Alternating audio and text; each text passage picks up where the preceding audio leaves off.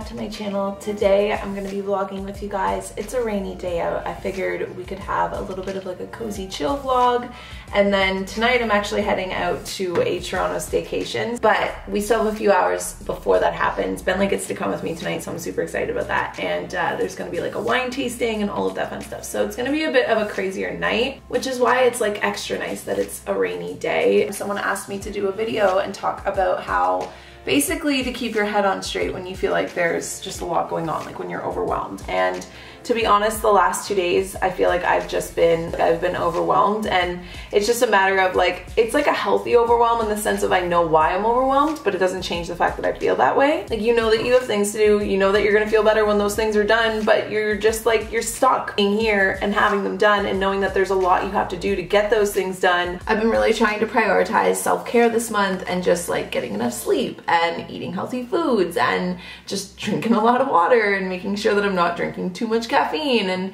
prioritizing as much as I can, but there's only so much you can do. But days like this, when it starts to rain and it's just like a good excuse to kind of cozy up and stay indoors, they're kind of like little, the ability to kind of take a breath, take a breather for the day. So it's actually going on noon. I have this weird thing where I actually genuinely enjoy running errands when it's raining out. So I'm thinking we could bundle up in a bit and go and grab some groceries. I kind of wanted to meal prep.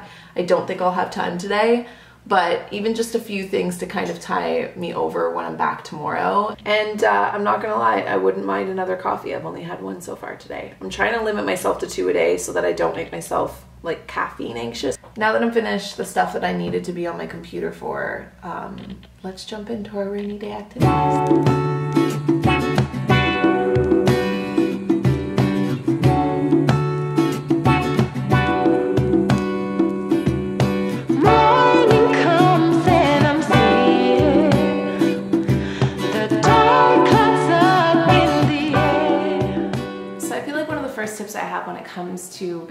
Keeping yourself balanced and not getting too sucked into just any time of the year that you find yourself super stressed or having a lot to do. I feel like one of the first things is, like I said, prioritizing self-care, making sure that you're eating good foods, making sure that you're getting good sleep, making sure that you're moving your body, even if it's light exercise, like just doing a little yoga stretching in the morning, anything that's just going to make you a little less up here and a little more like I was gonna say in here, but like in your whole body, you know? For instance, like I was running behind this week with all the stuff that I had to do and my groceries just like didn't get done. So I found myself starting to kind of slip into just like, you know, like ordering Uber Eats or like going and grabbing some takeout. And I just know that as soon as I do that, I start to feel really crappy, like if I let it go too long. So I ran and grabbed some groceries today. I figured I'd show you guys like a little haul picked up some new sunflowers. Another good tip I feel like when you're stressed is surround yourself with pretty inspiring things and sunflowers are my favorites. So I picked up some fresh bakery bread as well um, and then a lot of fruits and vegetables. So I got banana, I got a red pepper, cauliflower rice, tofu, apples, organic broccoli and zucchini, mushrooms and hummus. I got butternut squash, microgreens, picked up some of this organic raw goji energy. I just picked up a little bit of coconut aminos, which is basically like a substitute soy sauce, and some chili garlic teriyaki sauce for stir fries. We also had little shots of, this is from Greenhouse, this is like a Toronto brand. They're just really good for your stomach. One of the side effects for me whenever I find my like anxieties a little bit more peaked than usual is I get like a really upset stomach and my digestion just gets super, super whack. These always kind of help. Plus there's just something, I don't know, I love taking spicy shots. Organic, fresh, cold pressed lemon, apple cider vinegar, and cayenne extract. Bottoms up. Ooh. So it's about 1.11 now. Um, I'm gonna put my groceries away, make myself a quick little bite to eat for lunch. Also, I picked up, I finally picked up a new compost. Our old one got really gross, so I haven't been composting like as of more recent, but so I'm gonna crack out my compost now as well. I gotta tell you something I could do. I could be running around chasing you, but I won't.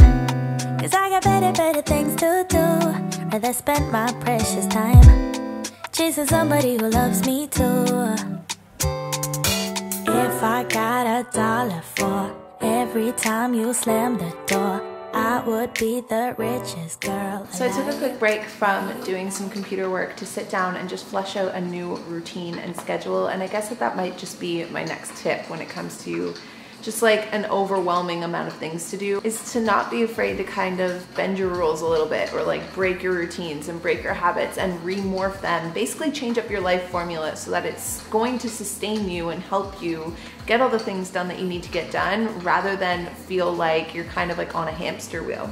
So for instance, for Youtober this month, I've really, really cut back on just like how much I was working out and how much I was just like trying to do a million different habits in a day and instead just chose like the top three personal ones, the top three work ones. So because my routine has been just all up in the air and all over the place, I decided to kind of sit down and take a second to rewrite it out. Times where you're kind of feeling like overwhelmed, it can be really easy to see that end game looking a lot further than it really is. So taking just a second to even just write down how you feel. Like you don't even have to bullet journal out a routine. You can just use a journal journal and write out your actual, just like, you know, just where you're at. Just write down anything that's going on inside your mind just to kind of get it out and be able to kind of unload it from your shoulders so that you can move on to the next thing you need to do, which for me is pack my bag.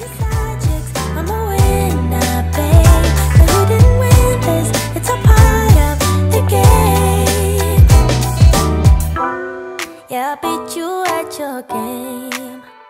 And if you were me, you would do the same. Man, really Okay, so we're pretty much all packed up and ready to go. I feel like if I don't take breaks, if I don't find a little peace of mind by taking a piece of my own time, then I go crazy. So even though I'm gonna be vlogging tonight, and even though I'm gonna be doing some computer work and some editing at the hotel itself, I'm kind of looking at this little hotel getaway as a mini getaway. It's getting out of the house, getting a, some wine and a free dinner. I got an opportunity actually to come to this wine tasting tonight and it's paired with like this fancy dinner and it's at the Intercontinental in Yorkville. So we just got here not too long ago and we're gonna hang out for a little bit before I have to head down for the dinner. I'll give you guys a tour of my hotel room. So to the left, closet, but with a full length mirror. I also definitely will be putting this on. Okay, and here we have the bathroom. Hello again, lighting on fleek. We got a nice shower. Back out here we have Bentley. Um, and then this is like a full tour of the room. So big king size bed. Also, how cute is this, guys? They put out little pictures of Bentley. So then there's just the desk, the TV, and out here, let's take a look at our view.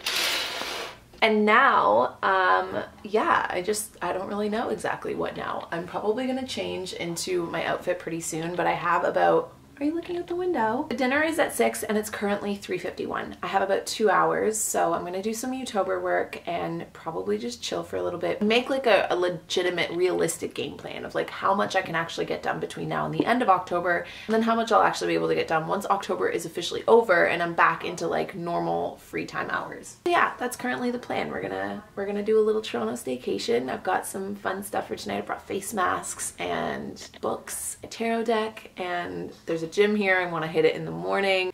Ain't that right?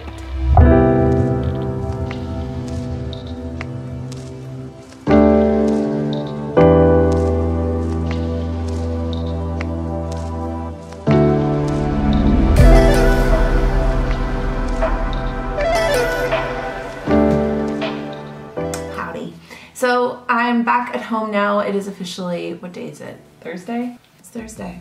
So if you're seeing this on Thursday, hi. And if you're not, hi. I'm gonna leave you guys with two of, I think, the biggest things that I feel like the last 24 hours has taught me. One was from a book, and one was just from my own mind. I don't know, I was just thinking about it recently. I was writing in my journal this morning about expectations and how I think that during periods or during times where we're most stressed out or when I, I guess, am most stressed out, I think the thing that kind of makes things worse rather than better is the feeling of like pressure of expectation that I'm putting on myself. Obviously, I have a lot of deadlines coming up, and if you're watching this and you're relating to anything I've talked about in this video, maybe you have a lot of deadlines, maybe you just have a lot of things on your plate, whatever it is.